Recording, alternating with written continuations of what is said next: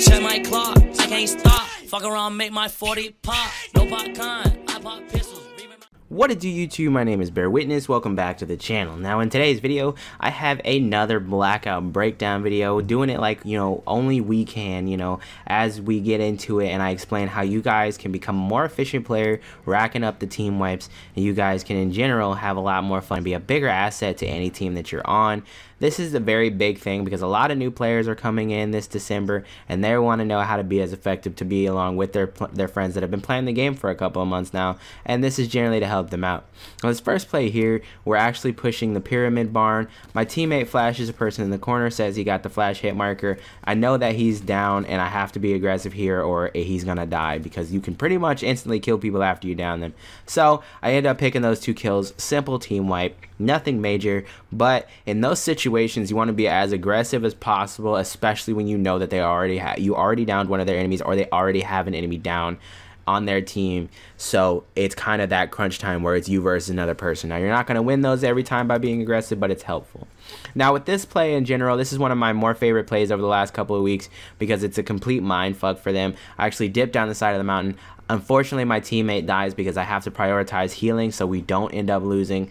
I, I some people could say that they'd rather be picked up or they would rather him push, but he completely understood that I couldn't do that. I had no health at the time that he went down, and I was in completely incapable of doing that. But luckily, they couldn't find me, so they ended up saying, whatever, he's gone and they started looting my teammate's body. So, with that being said, I immediately decided that I was going to push back up. I wanted to be as quiet as possible, so I used dead silence.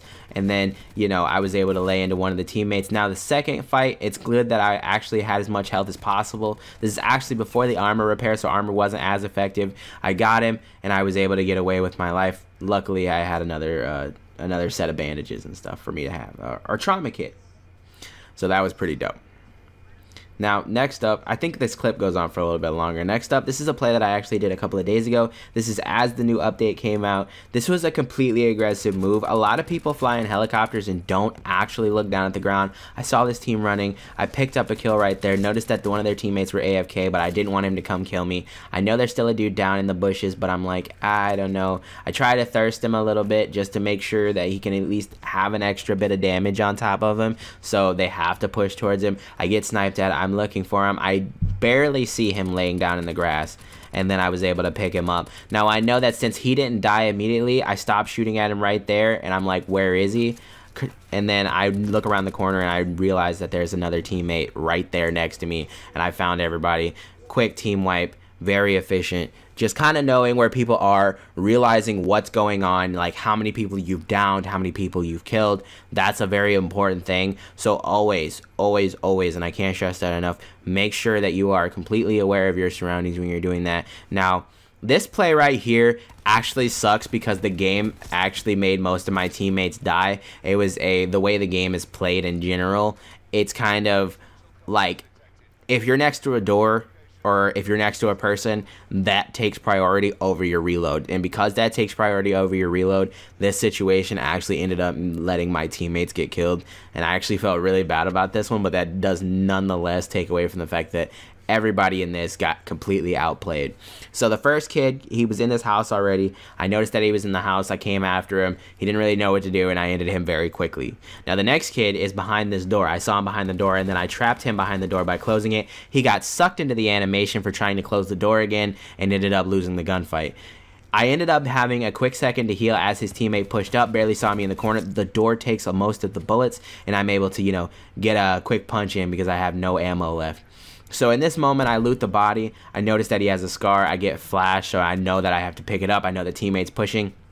But I was a little taken aback because if you you guys will notice here that my teammate actually comes inside. So I don't know if my teammate lost him or what, but the guy wasn't outside. Now at this moment I noticed that I only have eight bullets left. So I go back over and I try to figure out if there's any bullets inside of the thing.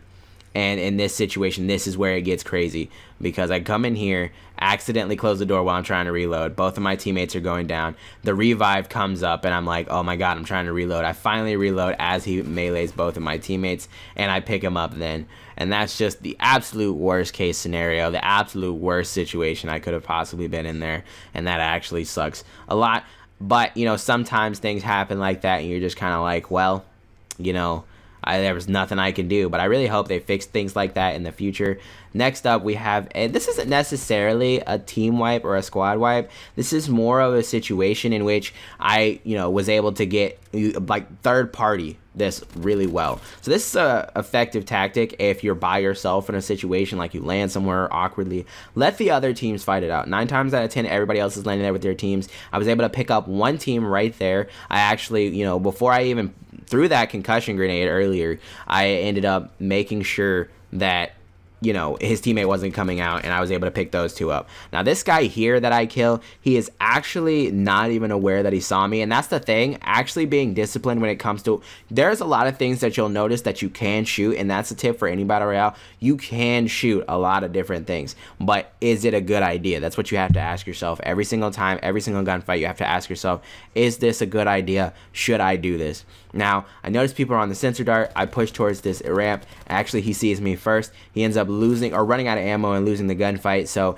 I lucked out there. But now I know that he went down. That's the thing to take notice of. Make sure that you notice, oh, did he go down? Just because somebody is by themselves in the moment doesn't mean that they're by themselves in general. So I know that they were already in a fight with two other people. So I'm generally assuming that they're kind of preoccupied with this. He was coming back to kind of reload and get his bearings, probably heal up, and that didn't go well for him because I was there. Now I come back up this ramp and I'm just like, I wonder if he has any teammates here or anything like that.